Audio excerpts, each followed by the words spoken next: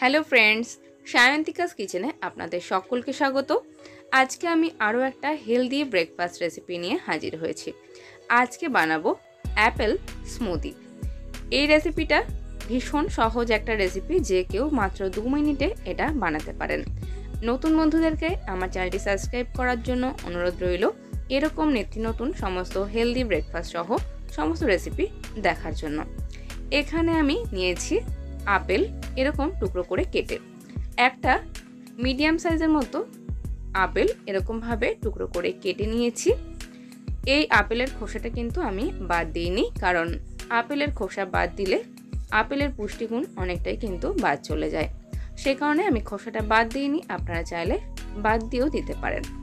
এর সাথে নিয়েছি আমি চিনি ওয়ান টেবিল স্পুন, আর নিয়েছি এখানে দুধ।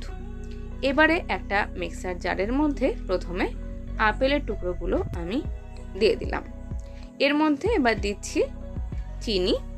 আমি এখানে ওয়ান টেবিল স্পুন চিনি দিচ্ছি, আপনারা কম বেশি দিতে পারেন অথবা এর বদলে দিতে পারেন মধু ওয়ান টেবিল স্পুন এবার এর মধ্যে দিয়ে দিচ্ছি দুধ। এখানে নর্মাল টেম্পারেচারে রাখা দুধ ব্যবহার করছি চায়ের কাপ মেপে দেড় কাপ মতো। এরকম হেলদি ব্রেকফাস্ট রেসিপি আমি অলরেডি আপনাদের সঙ্গে অনেক শেয়ার করেছি। যদি রেসিপিগুলো না দেখে থাকেন, এই ভিডিও শেষে একটা প্লেলিস্ট আমি অ্যাড করে দেবো, এই ভিডিও শেষে এন্ড স্ক্রিনে সেখান থেকে চাইলে আপনারা সমস্ত হেলদি রেসিপিগুলো দেখে নিতে পারেন। এই সব উপকরণ দিয়ে মিক্সিতে এটাকে ব্লেন্ড করে নিয়ে ফেরত এলাম।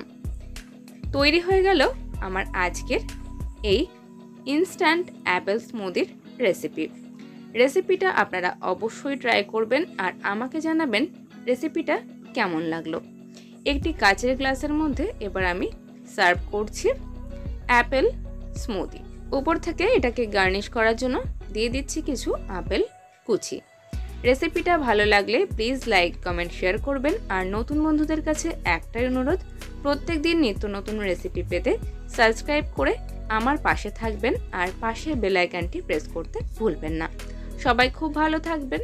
ধন্যবাদ।